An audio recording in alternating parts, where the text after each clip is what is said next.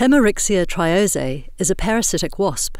It was introduced into New Zealand in 2017 to help reduce populations of the tomato potato psyllid, or TPP. Tamarixia can be purchased from Bioforce by anyone interested in releasing it and using it to help reduce TPP populations. Tamarixia can develop from an egg to an adult in 12 days under warm temperatures.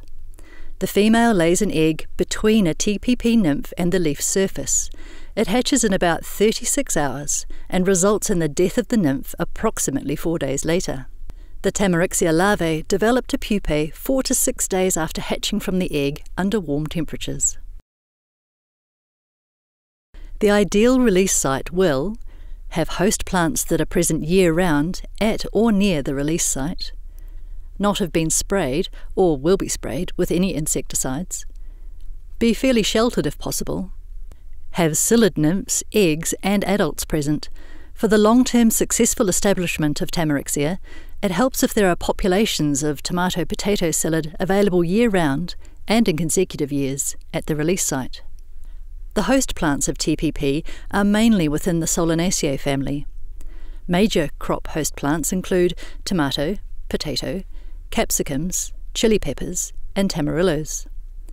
Non crop host plants include African boxthorn, the native poroporo, thorn apple, apple of Peru, Jerusalem cherry, and Chinese boxthorn.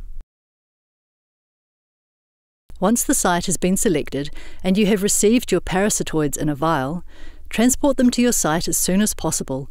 If you can, find TPP nymphs at your release site. Open the vial close to these TPP nymphs. There are two methods for releasing Tamarixia from the vial. The first is by attaching the vial directly onto the plant using a twist tie and leaving it for a few days.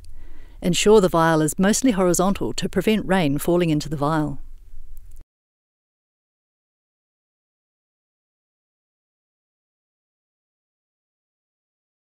The second is by aiming the opening of the vial towards the nymphs and gently flicking or tapping the base of the vial.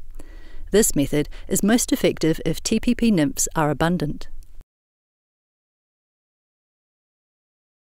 The best time to look for parasitized TPP nymphs is when they are most abundant in summer and autumn. Using a magnifying glass is recommended. It's difficult to tell if a TPP nymph has a Tamarixia egg or larvae on it because they're hidden underneath the nymph. As the pupae develops, the TPP nymph starts to change colour and texture, changing from a plump yellow or green nymph to a brown beige desiccated looking nymph.